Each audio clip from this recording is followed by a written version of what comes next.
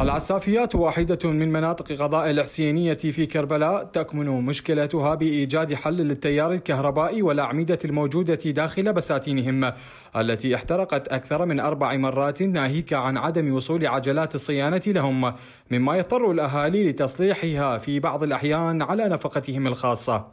من ال 91 لحد الآن هذا المشروع نفسه. كنا بيتين حاليا تقريبا 50 بيت على محول عليه بال 60 أو 70 بيت. إحنا نتمنى من حكومتنا الرشيدة أن تهتم بقضية مشروعنا اللي صار عندنا تقريبا أربع مرات حرق.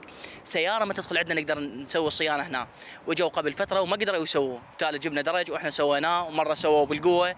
منذ تسعينيات القرن الماضي ولحد اللحظة لم يتطور أي مشروع لإعادة تأهيل أسلاك الكهرباء. قلة المحولات الكهربائية ومشروع رديف للتيار الكهربائي يتوقف على عشرة أعمدة لإنجازه رغم ميزانية المحافظة ومشاريعها المركزية على حد قولهم. مشروع متوقف من ال 91 لحد الآن. مشروع عاجز عليه مجلس محافظة لنثرية بالشهر الواحد 50 مليون شايات وشكر. معقولة مجلس محافظة عاجز عن مد 10 أسلاك 10 عواميد العفو. 10 عواميد و200 متر سلك يعني مشروع متوقف وتأذينا حيل والله من, من وراء هذا.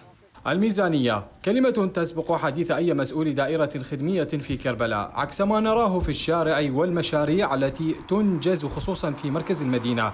ويتوعد بالنظر بهذا المشروع ومشاكل المواطنين في الأيام المقبلة.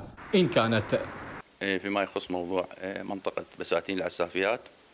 درج ضمن منطقة 2020 إيه، ضمن مشاريع 2020 كونها ضمن أراضي زراعية ولكن بسبب قلة التخصيصات المالية حال دون تنفيذ المشروع. إن شاء الله عن قريب بعد وصول بعض المبالغ المخصصة للمشروع سوف يتم فتح أمر العمل ونقل مسار الأعمدة ضمن المسار المعد من قبل الدائرة بعد تعاون الأهالي بتوفير مسار لغرض وصول الآليات التخصصية والصيانة المستقبلية. سنوات عديدة ومنطقة العسافيات في قضاء الحسينية تعاني أزمة الكهرباء الأمر الذي يثير تساؤلات عن إمكانية المحافظة بتجهيزهم بعشرة عواميد لإنجاز مشروع طال انتظاره منذ تسعينيات القرن الماضي. لقناة التغيير الفضائية جاسم الهميم الحسينية.